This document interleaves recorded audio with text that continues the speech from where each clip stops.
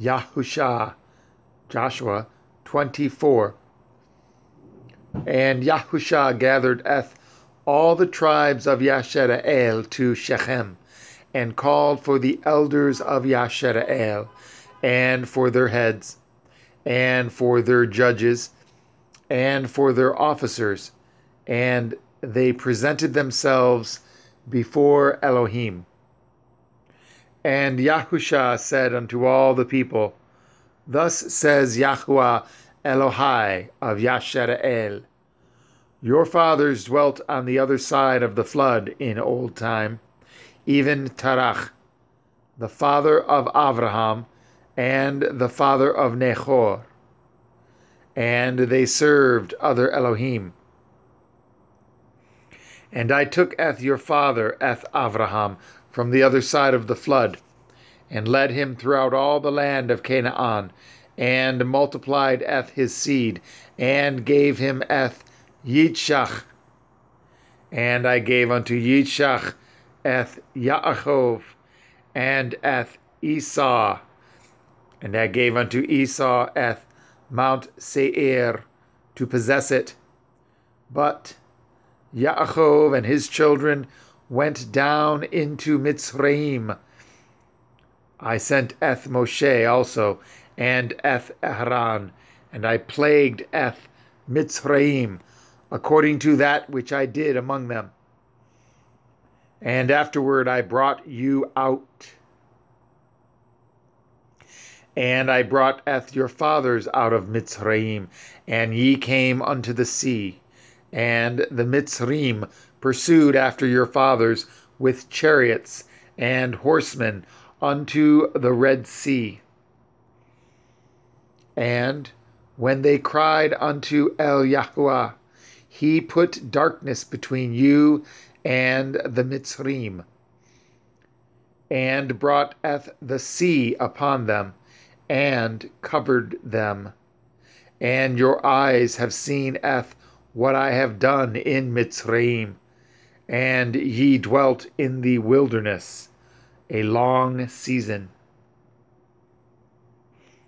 And I brought you into the land of the Amorim, which dwelt on the other side of the Yarden, and they fought with you.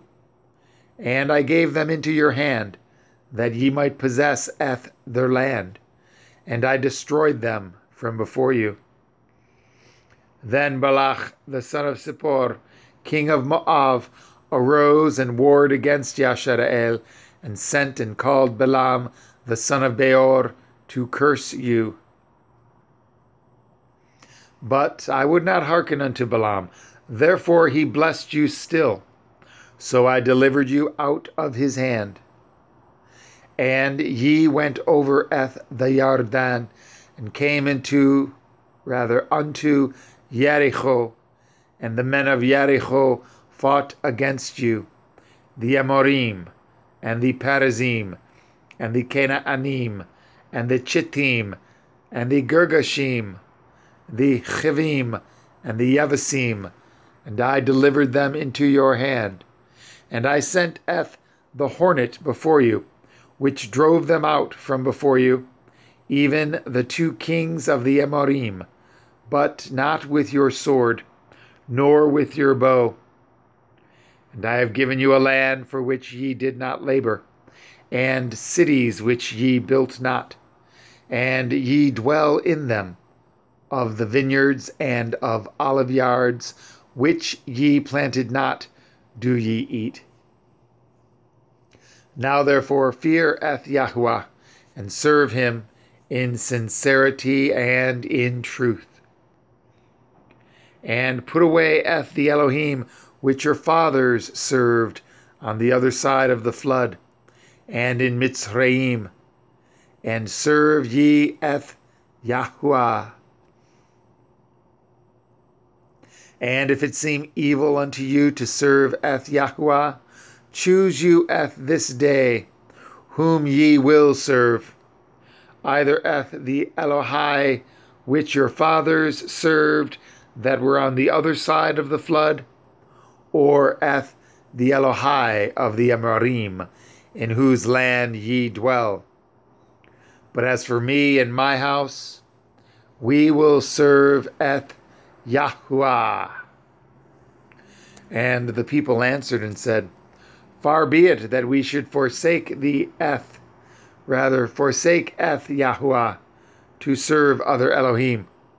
For Yahuwah Eloheinu, He it is that brought us up, Eth, and our fathers out of the land of Mitzrayim, from the house of bondage, and which did eth those great signs in our sight, and did guard us in all the way wherein we went, and among all the people through whom we passed.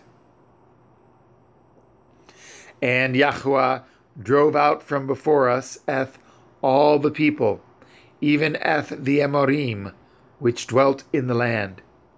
Therefore will we also serve eth Yahuwah, for he is our Elohim.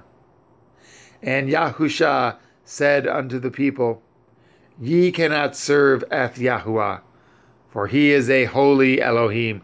He is a jealous El. He will not forgive your transgressions, nor your sins. If ye forsake eth Yahuwah, and serve strange Elohai, then he will turn and do you hurt and consume you. After that, he has done you good. And the people said unto El Yahusha, Nay, but we will serve Eth Yahuwah. And Yahusha said unto the people, Ye are witnesses against yourselves that ye have chosen you Eth Yahuwah to serve him. And they said, We are witnesses.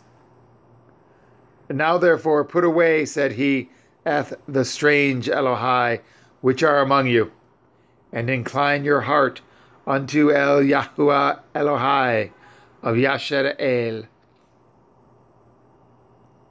And the people said unto El Yahusha, Eth Yahuwah Eloheinu will we serve, and his voice will we obey. So Yashu, rather so, Yahusha cut a covenant with the people that day, and set them a statute and an ordinance in Shechem. And Yahusha wrote eth these words in the Sefer of the Torah of Elohim, and took a great stone and set it up there under an oak that was by the sanctuary of Yahuwah. And Yahusha said unto all the people, Behold, this stone shall be a witness unto us, for it has heard eth all the words of Yahuwah which he spoke unto us. It shall be therefore a witness unto you, lest ye deny your Elohim.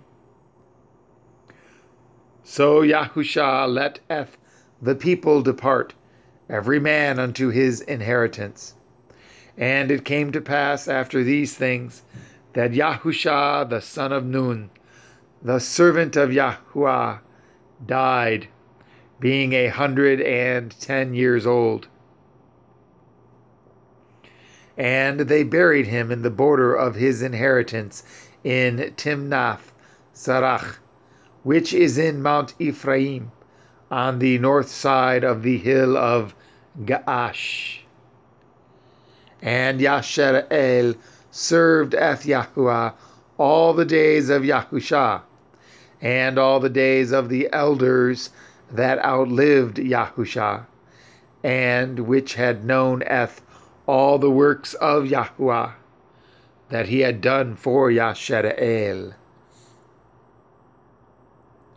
and at the bones of Yosef, which the children of Yashara'el brought up out of the Mitzrayim. Buried they in Shechem, in a parcel of ground which Yaakov bought of the sons of Chamor, the father of Shechem, for a hundred pieces of silver. And it became the inheritance of the children of Yosef and Eleazar, rather Eleazar, the son of Aharon, died. And they buried him in a hill that pertained to Pinikach, his son, which was given him in Mount Ephraim.